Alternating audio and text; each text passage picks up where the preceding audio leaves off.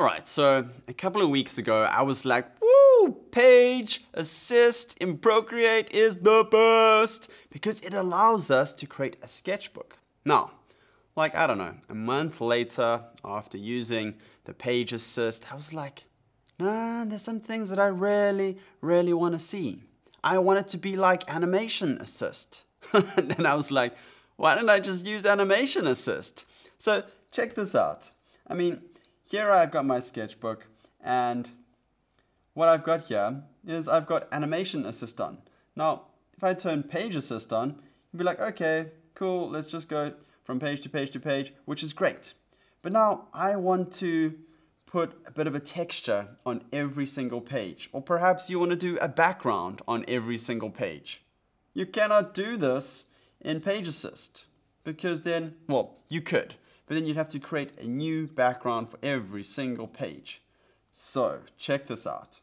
When you go to Animation Assist, you will need to change your onion skinning down to none if you don't want onion skins, or if you want to trace a previous day or previous page, well, then you can put on onion skins. It is pretty powerful. So, check this out. If you go all the way to the end of your animation or your sketchbook, you can tap on the last frame or the last page and say, yes, I want that to be a foreground. Now what this means is that it can be a group or just a layer that becomes the foreground. But check this out. This is where it becomes a powerful. So my frame 32 is 30% opacity. So I'm going to drag that up to 100% and I'm going to change it from a multiply uh, let's just go for normal. So this is what would happen if I set this layer or this group to a foreground layer or as the foreground element. You know, it would just be on top of everything. Not so helpful.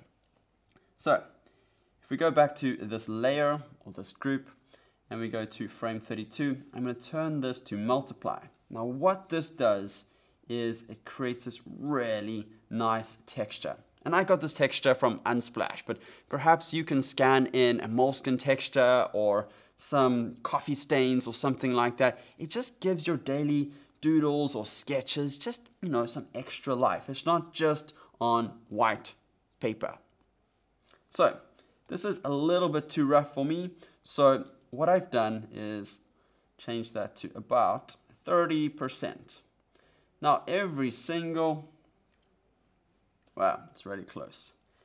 Every single page, uh, that's quite a cool one. Every single page now has this slight background on top with a multiply blend mode. And this makes it feel just so much better, textured. Feels like you're in a Moleskine, but you know, you're in Procreate. And you don't have to add that background texture every single layer or in every single page. It's super powerful. So that for me just makes Page Assist redundant.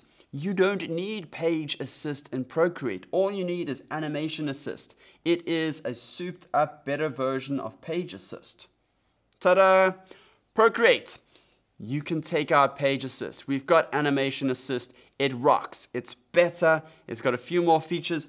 Oh, and if you wanted to, you could even say frames per second, one frame per second or something like that. And let's just do a quick overview of my sketches. Yeah, some pretty cool sketches. I tried out a couple of different brushes. I had some ideas. Got me thinking, got me playing you know, I revisited a couple of styles. I found a really cool brush in Procreate. You can't do this in Page Assist. Or maybe you could. You could then turn it to Animation Assist. So, start using Animation Assist instead. It's better. All right, my name is Rich Armstrong from TapTap Kaboom. I'll see you soon.